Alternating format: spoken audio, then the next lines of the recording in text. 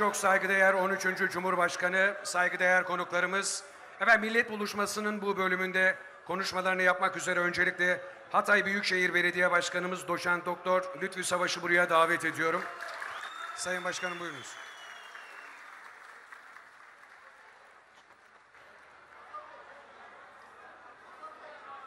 Sayın Cumhurbaşkanım, çok kıymetli protokol, değerli arkadaşlarım, hanımefendiler, beyefendiler, sevgili gençler, basınımızın güzde temsilciler, hepinizi sevgiyle, saygıyla selamlıyorum. Hepiniz Hatay'ımıza hoş geldiniz. Sayın Cumhurbaşkanım, Hatay 40 asırlık Türk yurdu.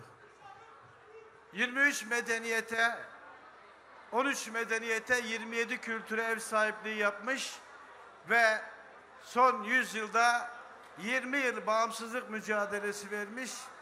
Gazi Mustafa Kemal Atatürk'ün engin dehasıyla, diplomatik gücüyle ve bir fiil Hatay'a desteğiyle Hatay 20 gün 20 yıl sonra tekrardan bağımsızlık ve daha sonra yeni bir devlet kurma Ondan sonra ona 20 gün yaşayıp ve kendi felsefesiyle, kendi inancıyla, kendi iradesiyle kurmuş olduğu devleti feshedip Türkiye Cumhuriyeti'nin bir serhat şehri olmayı istemiş ve ana vatana katılmıştır.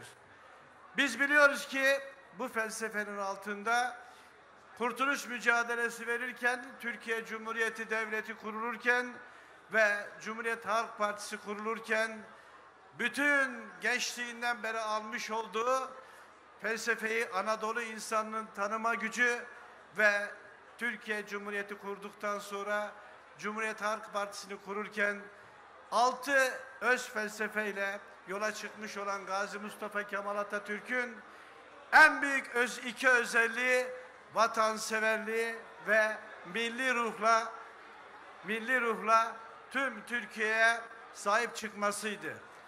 Bu iki felsefe dışında Gazi Mustafa Kemal Atatürk ben bedenimin babası Ali Rıza Efendi demiştir. Ruhumun babası Namık Kemal demiştir. Fikirlerimin babası Ziya Gökalp demiştir.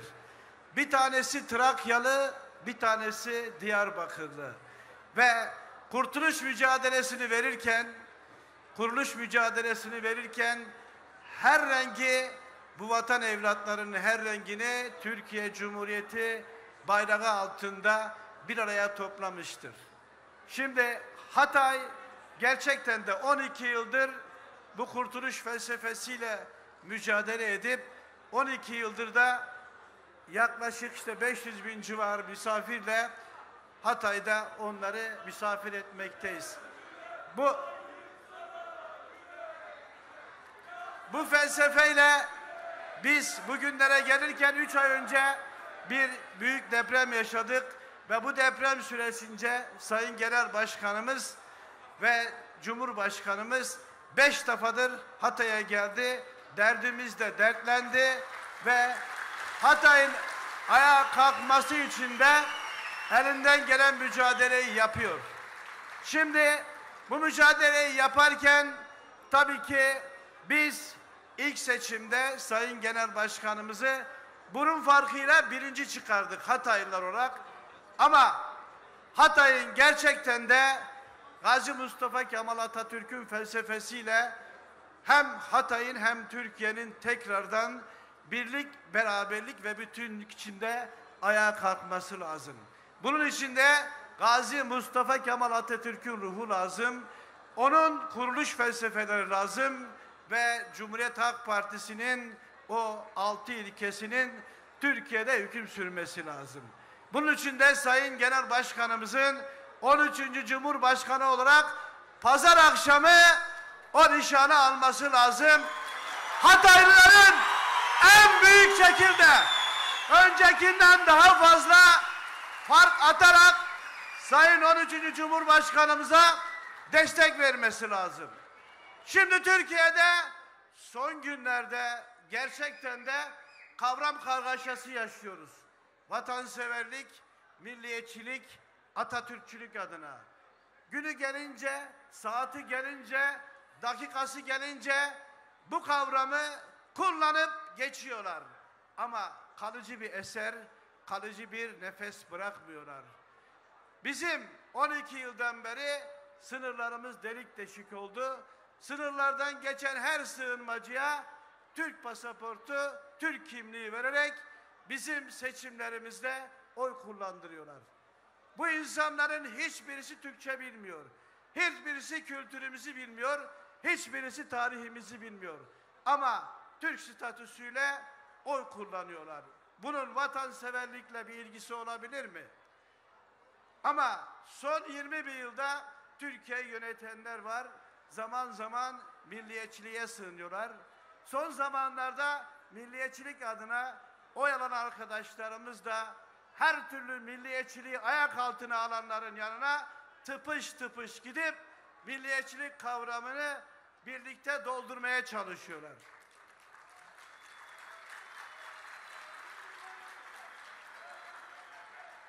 Bir de bir de bir de sevgili arkadaşlar bir de milli bayramlarda bile Gazi Mustafa Kemal Atatürk'ün adını ağzına alamayanların Atatürk adına siyaset yapıp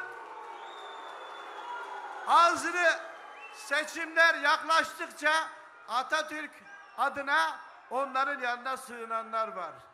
Bu seçim gerçek vatanseverlerin, gerçek milliyetçilerin, gerçek Atatürkçülerin, gerçek inananların seçimi olacak. Biz inananların Atatürk felsefesinin ve bu ülkeyi bir ve bütün yapacak liderin peşindeyiz. Sayın Kemal Kılıçdaroğlu'nun peşindeyiz. Hep birlikte bu pazar zaferimizi kutlayacağız. Saygılarımla efendim.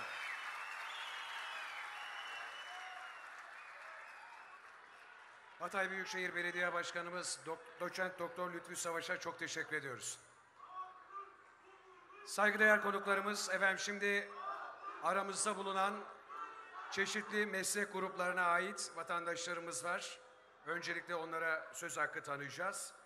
Şimdi öncelikle konuşmasını yapmak üzere Hatay Muhtarlar Derneği Başkanı Mahmut Gülcü'yü buraya davet etmek istiyorum.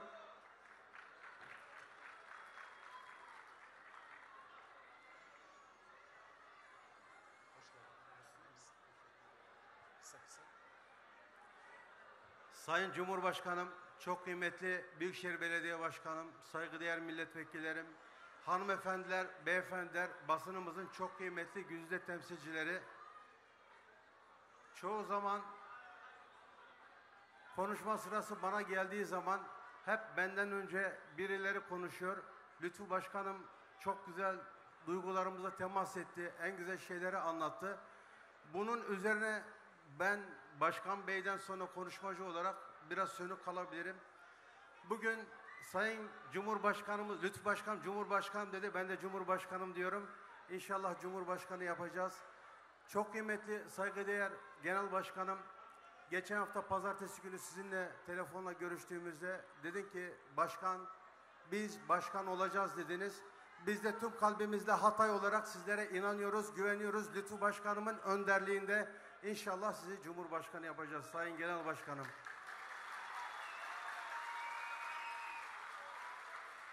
Şimdi çiçeği burnunda yeni seçilen milletvekillerimize inşallah bu dönem hayırlı görev yapmalarını temenni ediyoruz. Geçen dönemde bu ilimiz için, Türkiye'miz için gerçekten gecesini gündüzüne katan özellikle hem Serkan Topal vekilime teşekkür ediyorum.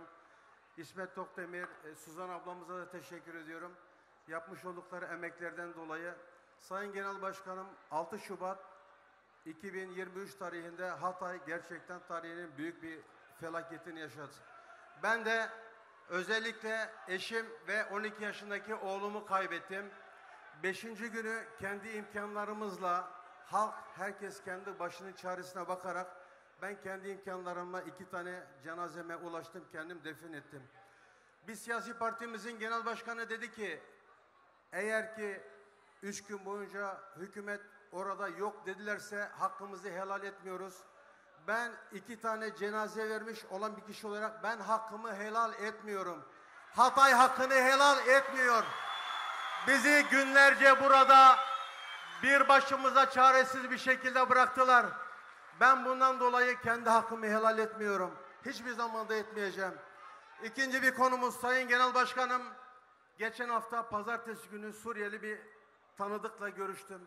Suriyeli tanıdık dedi ki ya dedi Kemal Kılıçdaroğlu dedi bizden ne istiyor dedi. Dedim ki ne için? Bizi dedi Cumhurbaşkanı olursa dedi bizi dedi Türkiye'den dedi gönderecekmiş dedi. Buna istinaden dedi bizim hiçbir Suriyeli dedi kendisine oy vermedi. Dedim ki sizin oyunuza ihtiyacımız yok. Sizin de benim geleceğimi, çocuğumun geleceğini, kendi elimin geleceğini tayin etmeye hakkınız yok. Size bu hakkı verenlere yazıklar olsun dedim. Kimse benim Hatay'ımın ve Türkiye'min geleceğini Suriyeliler özellikle olarak zaten biz yıllardır Hatay halkı olarak biz bunları taşıyoruz. Ekmeğimizi paylaştık, suyumuzu paylaştık ama yeter. Biz kendi ilimizde, kendi ülkemizde, kendi bayrağımız altında yaşamak istiyoruz.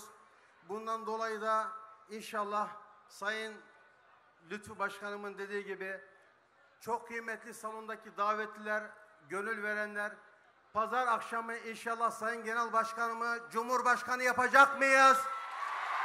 Yapacak mıyız? Yapacak mıyız? Biz tüm kalbimizle inandık Sayın Genel Başkanım. Sizleri seviyoruz. İyi ki varsınız saygılarımla.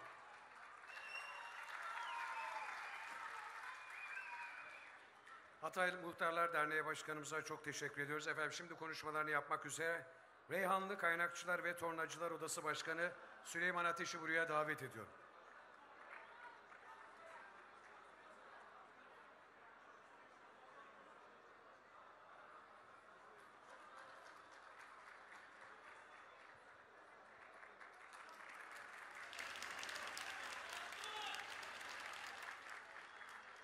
Selamlıyorum.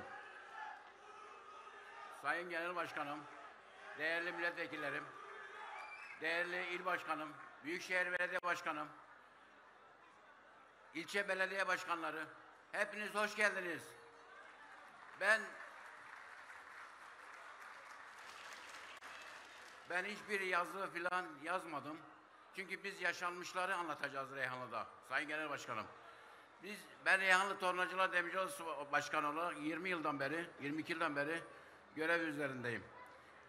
Bugüne kadar Reyhanlı'da hangi dallarda olursa olsun maalesef Suriye vatandaşlarımızdan yani kendi meslek dalımda pazarcıdan tut e, mesleki olarak her konuda sayı olarak bizde fazlalar.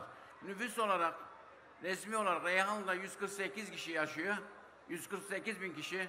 Reyhanlı köylerle beraber 100 bin nüfusu var efendim. İnşallah biz çok esnaflarla bir araya gelip de çok esnafımız dilekçe getirip bizim odaya müracaat etmiştir. Çünkü Suriye vatandaşları vergisi çalışmaktadır. Hepsinde mobil e, telefon şeyini kullanıyorlar. E, bir şey olduğu zaman hemen iletişime geçiyorlar. Mesela defterdarlıktan müracaat ediyoruz vergi dairesinde. Ekip geliyor. Anında birbirlerine iletişim kurup anında dükkanları kapatıyorlar. Mesela eski Salman Bakkal amca yok. Eski Mehmet amca yok. Şu an maalesef Reyhanlı'da her mahallede bir Suriye vatandaşının bakkalı var. Kendi esnaflarımız bir iş aldığı zaman kesinlikle e, Suriye vatandaşı el birliğiyle adamla kendiler birbirlerini bırakmıyorlar. Aldıkları işleri beraber yapıyorlar. Kendi esnaflarımız mağdur oluyor. Niçin mağdur oluyor? Çünkü vergi olayı yok. Vergisi çalışıyorlar. Rakabet oluşturuyorlar. Oda kayıtları yok. Sayın Genel Başkanım, her e, Reyhanlı'daki Ziraat Odası'na dahil etkileri vardır. Çünkü üye, üye kaderini değiştiriyorlar. Her seçimin kaderini değiştiriyorlar. Ama maalesef biz ne kadar üzerlerine gidiyorsak veri kaydı yapamıyoruz. Anında kapatıp evlerine gidiyorlar. Reyhan'da anlatmak istediklerimiz e, bu kadar Sayın Genel Başkanım. Arz ederim.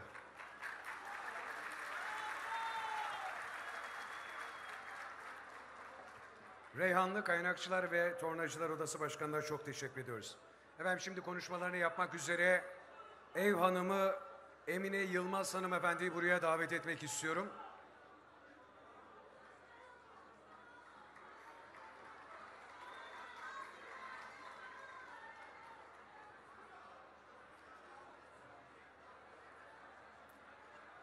Tamam başkanım. Merhabalar başkanım. Hoş geldiniz. Şeref verdiniz. Ben Emine Yılmaz.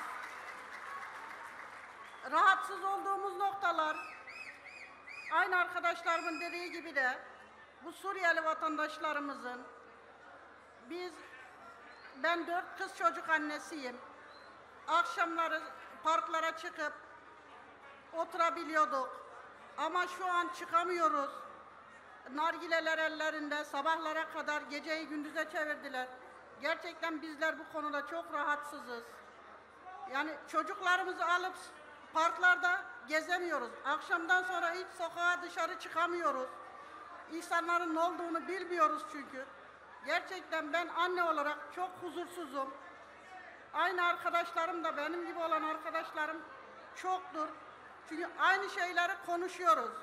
Memleketimizde güzel bir yaşantımız vardı. Bunlar geldikten sonra hiç rahat yaşayamıyoruz. Sokağa çıkamıyoruz akşamdan sonra. Ben o yüzden çok huzursuzum. Bir düzene binmesini istiyorum. Başkanım hoş geldiniz. Teşekkür ederiz.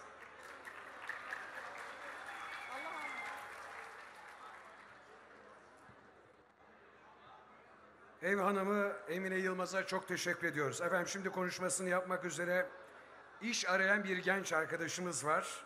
Emre Deniz'i buraya davet etmek istiyorum.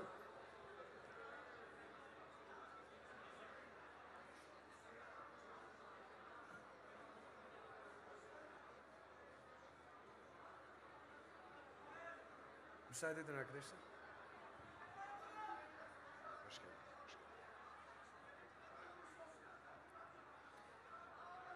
Ee, öncelikle merhabalar. Ee, 13. Cumhurbaşkan Sayın Kemal Kılıçdaroğlu ve Sayın Milletvekillerine hoş geldin diyorum. Ee, ben Emre Deniz. Ee, benim gibi binlerce genç e, Suriyeli vatandaşlar yüzünden e, işsiz durumda. Ucuz iş gücü ve sigortasız çalışarak Ee, ucuz iş gücü ve sigortasız çalışmaları sektörlerin mültecileri öngörerek iş sağlaması sebebiyle işsiz durumdayız biz. Dünyanın en yüksek e, mülteci nüfusuna ev sahipliği yapan yer Türkiye ve sadece Hatay'da her dört kişiden biri Suriyeli. Benim gibi binlerce insan Hatay'da ve Türkiye içerisinde bu durumdan ötürü işsiz durumda bir an önce mültecilerin ülkelerine güvenlik ve iş gücü durumunu sağlanarak ülkelerine geri gönderilmesini istiyoruz. Ee, arkadaşlarımız e, Türkiye'de çoğu kişi işsiz durumda ve e, bu işsizliğin çözülmesini istiyoruz biz. Mülteciler ucuz iş gücü ile ve sigortasız olarak çalışıyorlar ülkede. Ee, o nedenle e, Sayın Kemal Kılıçdaroğlu'nu Cumhurbaşkanı, Cumhurbaşkanı yapmak için herkesi sandığa bekliyoruz. Oy ver Türkiye.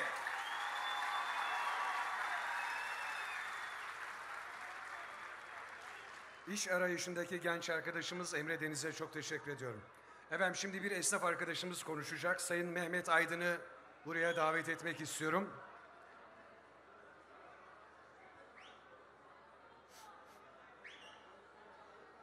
Müsaade edin arkadaşlar.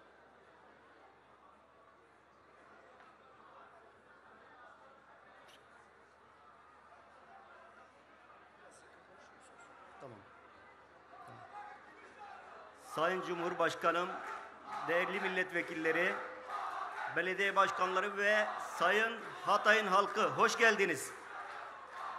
Sizlere ben özellikle benim yaşadığım sorunları anlatmak istiyorum. Ben eminim ki Türkiye'de olan bütün esnaflar aynı şeyi yaşıyor. Öncelikle Suriye'de savaş çıkmadan önce bizim Hatay'ımızda özellikle bavul ticareti çok güçlü şekilde oluşuyordu ve bütün esnaf bundan pay alıyordu. Yani para kazanıyordu bunlardan. Sonra savaş çıktıktan sonra işlerimiz çok düştü. Dörtte bir neredeyse işlerimiz düştü. Sonradan pandemi ve deprem olduktan sonra özellikle sıfırlandık. Sayın Cumhurbaşkanım sürekli televizyonlarda esnaflara hibeler ya da e, krediler vereceğini söylüyor. Ancak esnafların birçoğunun sicili bozulmuş. Sicili bozulmuş olması nedeniyle hiçbir esnafımız ayakta kalabilecek durumda kalmıyor maalesef. Ve bu bizi yokluğa sürüklüyor maalesef. Bundan dolayı da çok mağdur bütün buranın esnafları özellikle. Esnaflardan dolayı e, sadece şey konusu değil, kredi konusu değil. Dükkanlarımız, evlerimiz, her şeyimiz yıkıldı bizim. Bundan dolayı da bizim beklediğimiz özellikle faizsiz krediler de bekliyoruz. Faiz krediler verirlerse desteğe de ihtiyacımız yok başka desteğe. Sadece faizsiz kredileri verseler biz ayağa kalkabiliriz. Çok rahat kalkabiliriz. Hatay'ın halkı çok çalışkan ve çok dürüsttür. Bunun üstesinden gelir. Sadece hafif bir destek istiyoruz. Bundan dolayı da bizi bu, bu bize bu imkanları sağlayan arkadaşlardan da çok teşekkür ediyorum. Özellikle Sayın Serkan Topal'a da teşekkür ediyorum. Depremin ilk gününden beri bizim yanımızda yer aldı. Ona bir daha teşekkür ediyorum. Saygılarımı da sunuyorum. Sağ olun, iyi günler.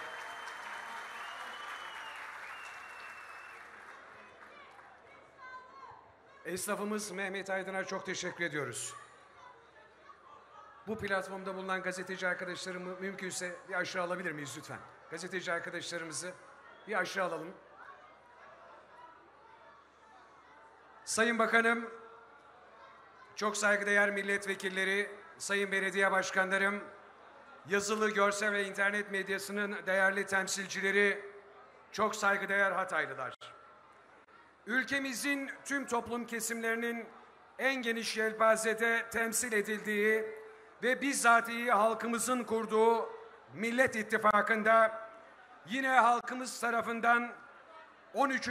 Cumhurbaşkanı adayı olarak gösterilen ömrünü hak, hukuk, adalet mücadelesine ayırmış Türkiye Cumhuriyeti'nin 13. Cumhurbaşkanı Sayın Kemal Kılıçdaroğlu konuşmasını yapmak üzere kürsüye davet ediyorum.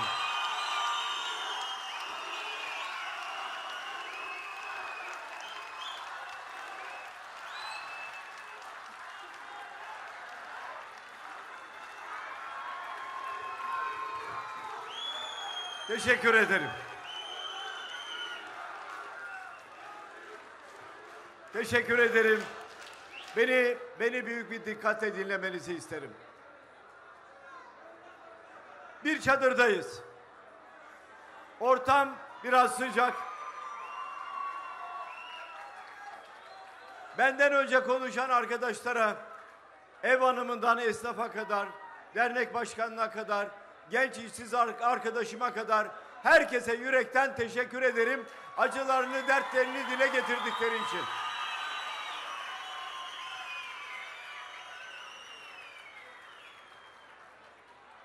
Birkaç konuda düşüncelerimi açıklayacağım. Birkaç temel konuda. Birincisi şu. Büyük acılar yaşadınız. Buraya beşinci kezdir geliyorum. Her bir depreme maruz kalan, yakınlarını yakınlarını kaybeden herkese yeniden başsağlığı diliyorum. Sevgilerimi, saygılarımı sunuyorum. Herkese ama herkesi yürekten kucaklıyorum.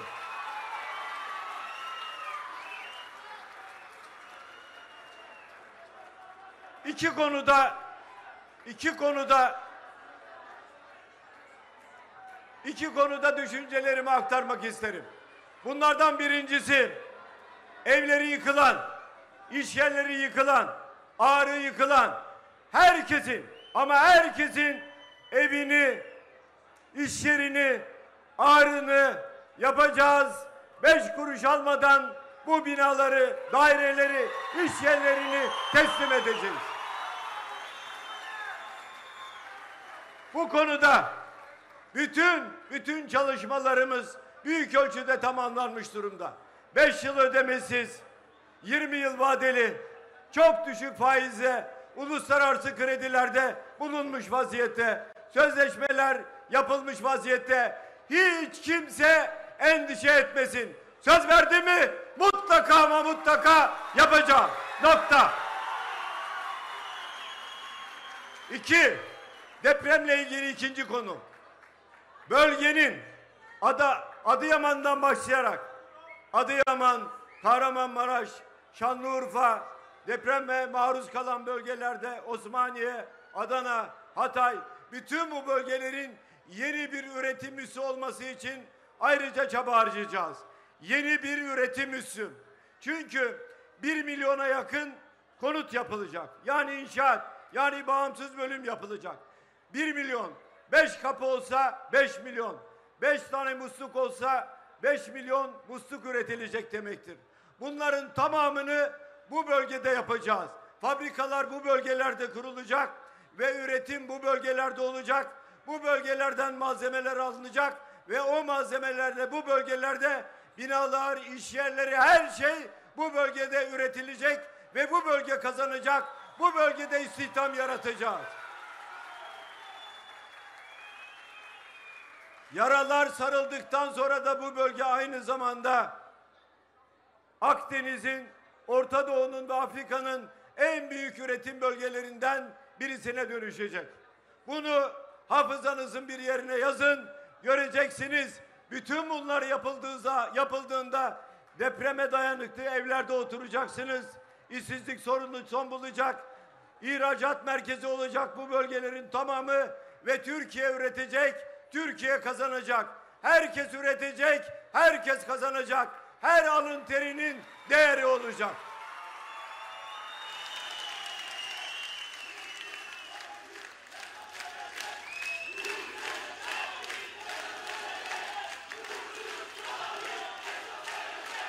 İkinci konu.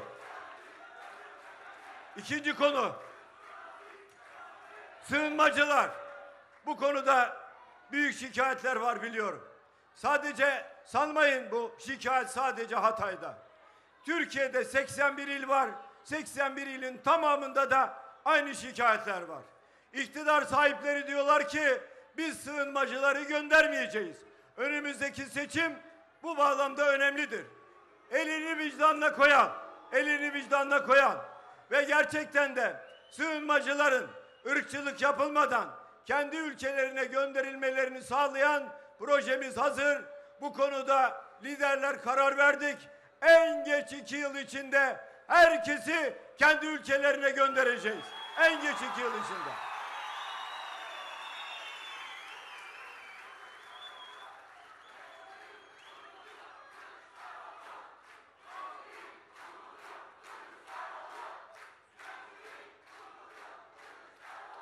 Bu konuda siyasi partilerin liderleri olarak yani Millet İttifakı olarak anlaştık.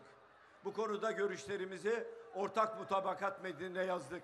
Ortak mutabakat metnindeki kurallara, ilkelere aynı uyacağız, aynı şekilde uyacağız ve bunları kendi ülkelerine yolcu edeceğiz. Şunu da ifade edeyim. Geri kabul anlaşması yaptılar. Yani Türkiye'yi bir anlamda sığınmacı deposu haline getirdiler. Asla ve asla Türkiye'yi bir sığınmacı deposu yapmayacağız ve Türkiye'yi buradan kesinlikle çıkaracağız.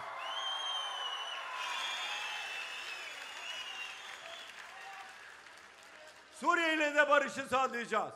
Suriyeli kardeşlerimiz hafta sonu isterlerse Türkiye'ye gelebilirler, düğünlerini yapabilirler, eğlenebilirler ama kendi ülkelerinde huzur içinde yaşamalarını isteriz.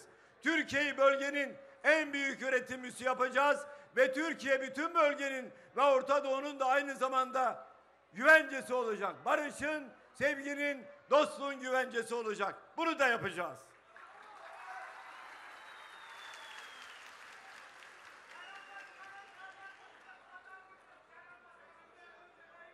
Bir arkadaşımız dedi ki kısaca bir düşüncemi daha ifade edeyim. Öteden beri yani düşündüğümden beri yani siyasete girmediğimden beri terörü her yerde ve her ortamda bir insanlık suçu olarak ifade ettim. Kim teröre destek veriyorsa, kim teröristlerle yan yana duruyorsa, kim onların musluğuna su taşıyorsa Allah bin belasını versin.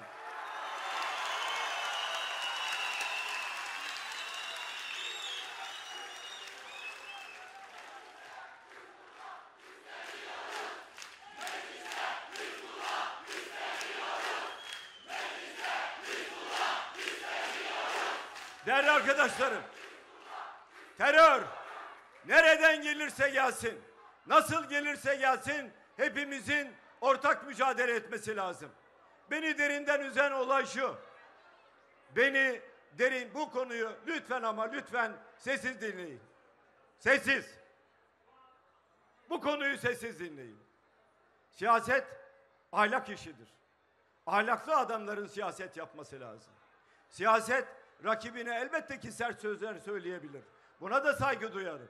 Birbirimizi eleştirebiliriz. Buna da saygı duyarım.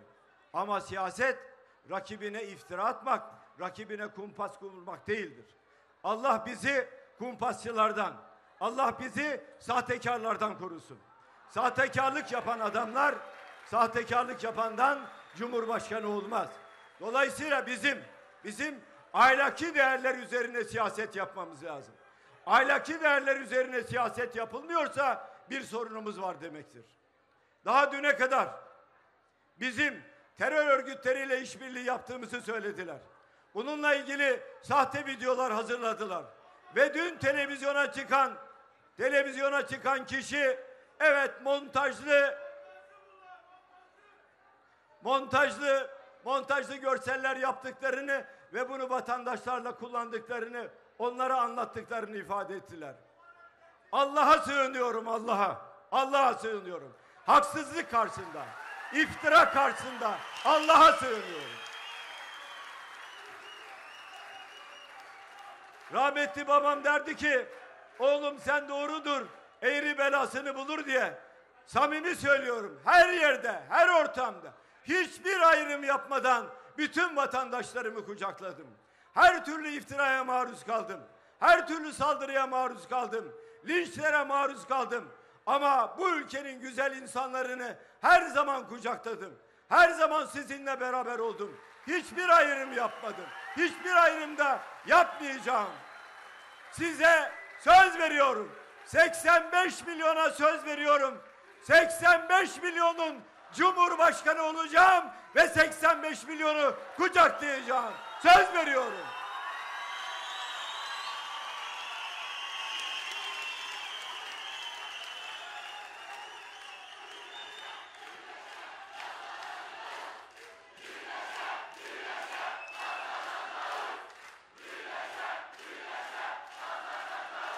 Elbette ki elbette ki birleşe birleşe kazanacağız. Bu ülke bizim ülkemiz. Çok güzel bir ülkemiz var. Ülkemizde huzur içinde yaşamak isteriz. Ülkemizde beraber yaşamak isteriz. Ülkemizde birisinin bir derdi varsa o derdi paylaşmak isteriz. Kimsenin, kimsenin, kimsenin ayağına basmak istemeyiz. Kimsenin aleyhine kötü bir söz söylemek istemeyiz. Dolayısıyla yeni bir siyaset anlayışına, ahlak ve erdem üzerine inşa edilmiş bir siyaset anlayışına ihtiyacımız var. Rakibimiz olabilir ama rakibimizle ilgili eleştiri yaparız ama rakibe kumpas kurmayız. Rakibe arka kapıdan gidip de onun aleyhine olmayan olayları olmuş gibi de göstermeyiz ve böyle de sunmayız. Çünkü biz ahlaklı ve erdemli insanlarız. Ahlaktan ve erdemden yoksun insanların devletin tepelerinde işi yoktur. Bunu da bilmenizi isterim. Şuradan bir konuya daha değinip ifade edeyim. Bakınız, Amik Ovası dünyanın en verimli ovalarından birisi. Hububat toplanmaya başladı, ağır ağır toplanacak ama hala hububatla ilgili taban fiyat açıklanmadı. Buradan açık ve net çağrı yapıyorum iktidara. neden bu fiyatı açıklamıyorsunuz? Neden? Açıklamazlarsa söz veriyor. Açıklamazlarsa yarın ben açıklayacağım. Bizim öngördüğümüz düzende buğday için taban fiyatımız budur diye açıklayacağım. Şimdi çağrı yapıyorum. Seçim sonunu değil, şimdiden açıklayın.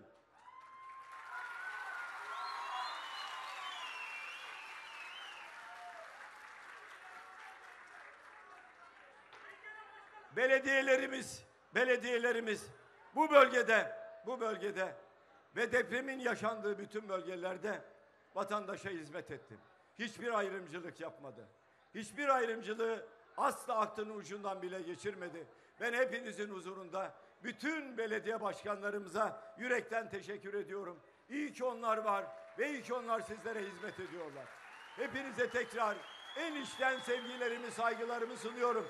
Sandığa gitmeyi unutmayın. Sandığa gitmeyi unutmayın. Oy kullanmayı unutmayın.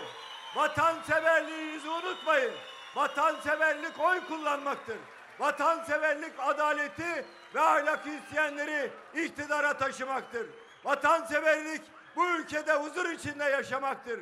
Vatanseverlik huzuru sağlayan bütün alt koşulları hazırlamaktır. Tekrar hepinize yürekten sevgiler, saygılar sunuyorum. Sağ olun, var olun diyorum.